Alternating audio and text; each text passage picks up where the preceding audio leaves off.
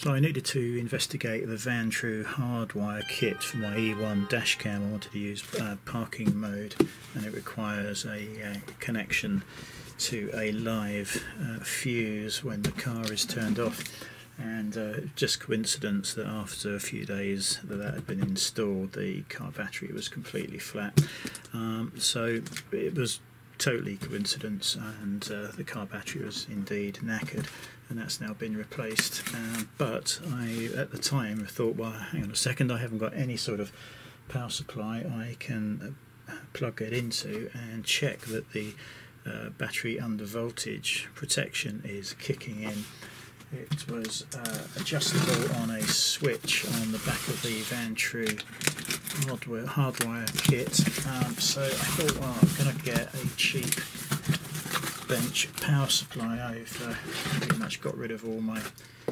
main tools years ago when I stopped servicing the TVs. What I do now really doesn't need any specialised equipment, certainly with power supplies, but I thought at £59 that this one was, uh, Going to, uh, to grab one. Uh, this particular one is uh, 0 to 30, uh, 0 to 5 amps. And again, Amazon, let me see what it's called. So this is the RS30SP, 30, sorry, RS305P DC power supply, uh, programmable switching power supply, uh, four digit LED and it's got six sets of uh, storage with PC software uh, USB interface. Um, so yeah that's what we uh, that's what we went for. There's literally dozens of power supplies on Amazon. They mostly get mixed reviews I have to say. Um, but this one was uh, well, five stars out of five with only 11 ratings. So I thought we would just go for this and well, we'll see.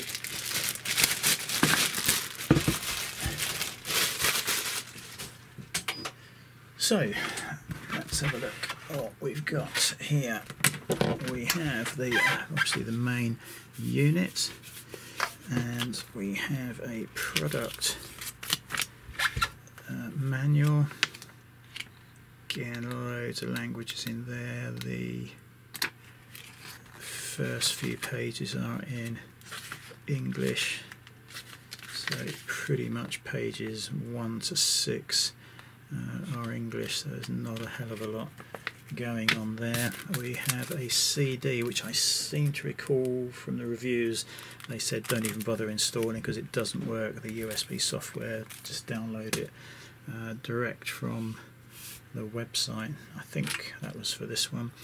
Uh, little croc clips uh, to plug into here. Again, I think somebody said they were not the best quality, but you know this sort of thing is easily uh, replaced with something decent.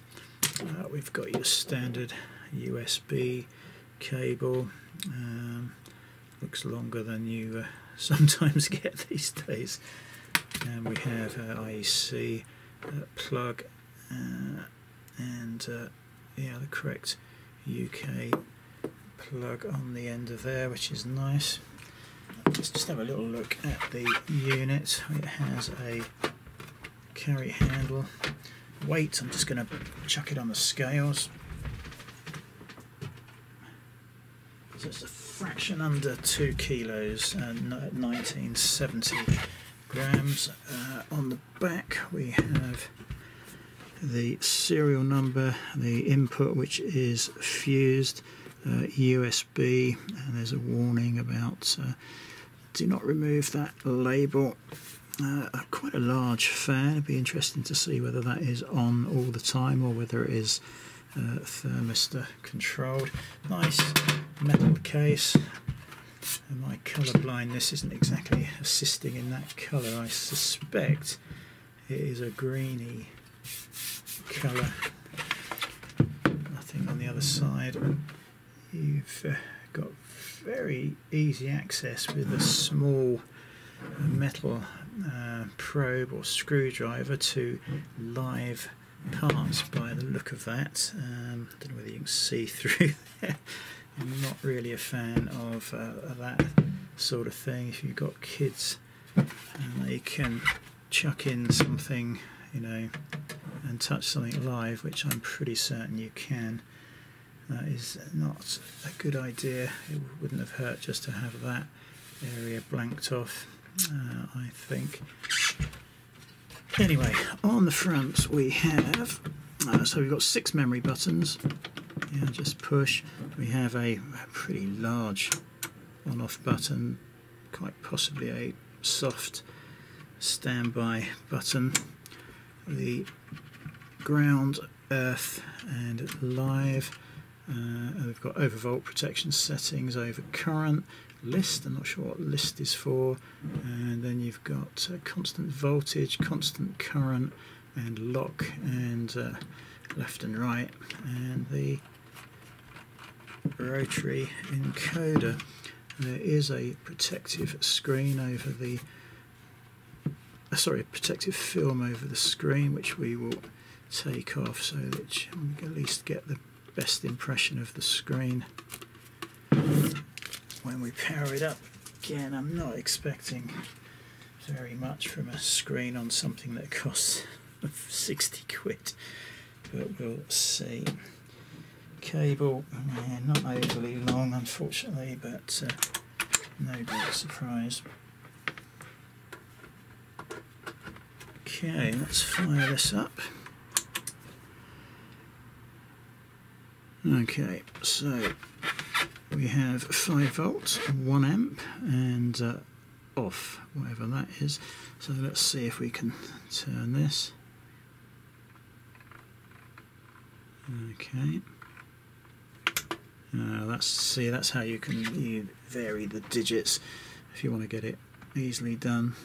So you can yeah go to each digit so if you want exact figures so you can go to 10 12 5 whatever you want uh, just by going like that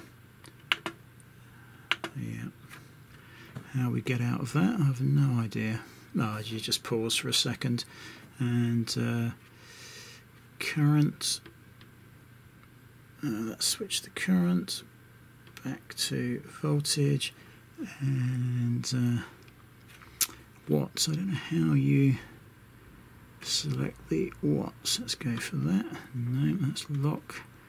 List, no, don't know. Don't know what this does either. Now again, you can move through the figures with the left and right buttons if that's easier. And I think if you wait a few seconds, it will come off of there. This one is Okay, well that's running something at 5 volts and off. So I think if we've got something connected, it will now be showing current and watts. Just look at the back, the fan is not running. It's a little noisy. If I turn that off, that noise goes.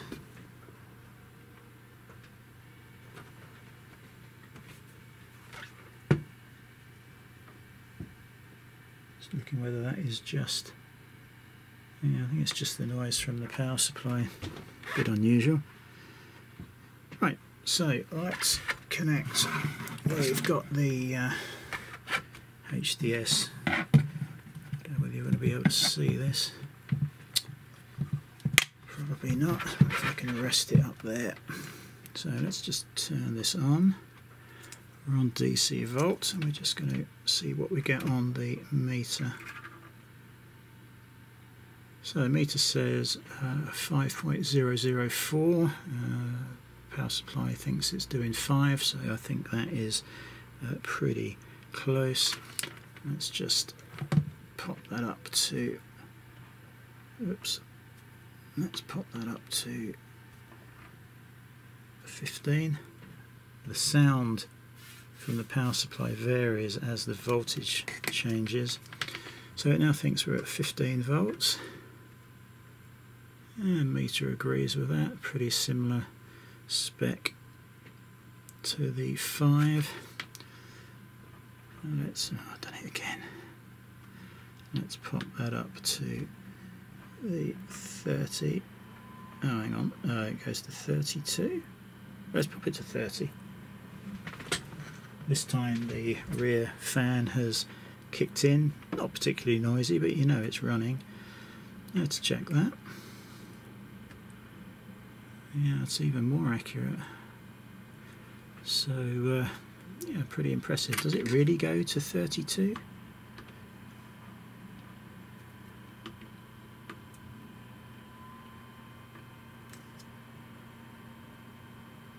Yeah, perhaps it does. Let's check.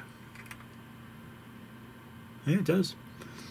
So 0 to 32. Now, I don't really think I've got much I can power from this uh, at the moment. I've got nothing set up. So I think we'll probably do some noise readings and uh, stuff like that another time. Oops.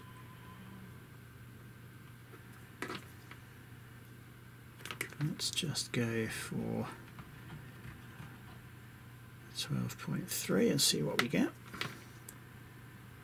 Okay. Uh, yeah, I mean, it's not bad, is it? Not bad at all. Don't suppose there's anything memorised, is there? Oh, yes, there is actually. So, logic level 3. Point, uh, I don't know why it doesn't stay there.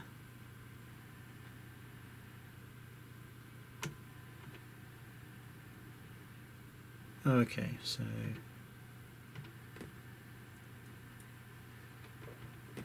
three point two. Oops, now you've got to press it, press it again. Yeah, press it, press it again. Bit of an odd way of uh, doing things. Just move that meter out of the way.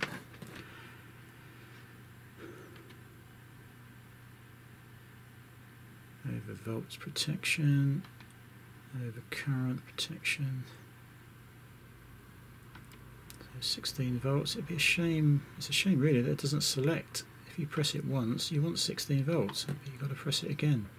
And it actually goes out. You would like it lit surely to know which one you're on. So 22.4, what if I hold it? Nope. 22.4, that'll be fine. Mm.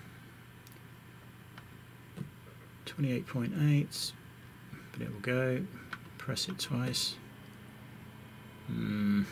And M6, 32 volts. Yeah, I don't know whether I like that, the way that works uh, particularly. I'd, uh, I wouldn't mind pressing it twice, but then if it lit up, it's obviously got that functionality that it can light. Well, why not leave it lit so you know which one you're on? There's no indication here of uh, a memory position.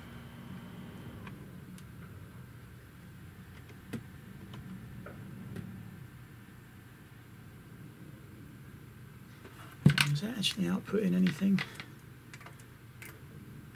No, so it doesn't output anything until you uh, press the sort of soft standby and that is then green and that will fire up. 32.01 so pretty good.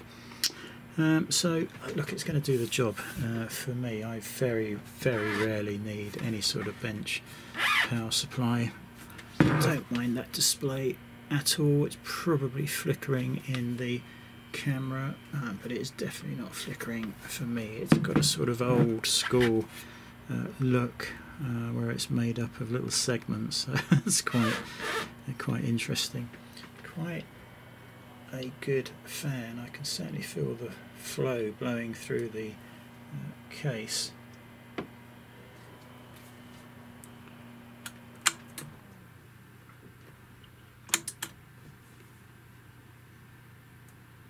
Yeah, it comes on in standby. A nice feature, I suppose, because you don't have to keep turning it on and off here, although it's hardly a big step to press the big button instead of the, uh, the little one if you suddenly wanted to use it from being off. I think we'll have to have a little look at the five pages. Um, yeah, it's very slow to tick down the rotary encoder, but at least you can be very precise, I suppose.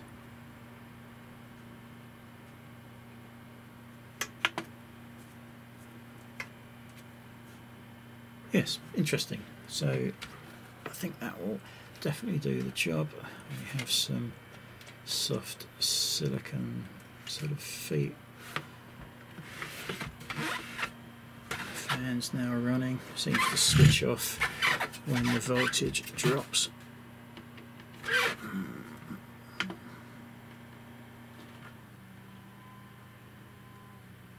You can hear, but the fan is slowing down with every change of voltage. It stops and starts. Yeah, slows right the way down.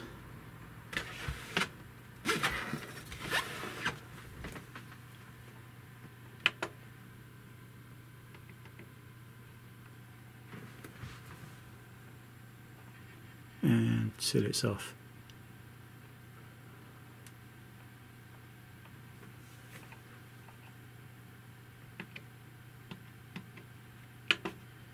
Let's see where that kicks on.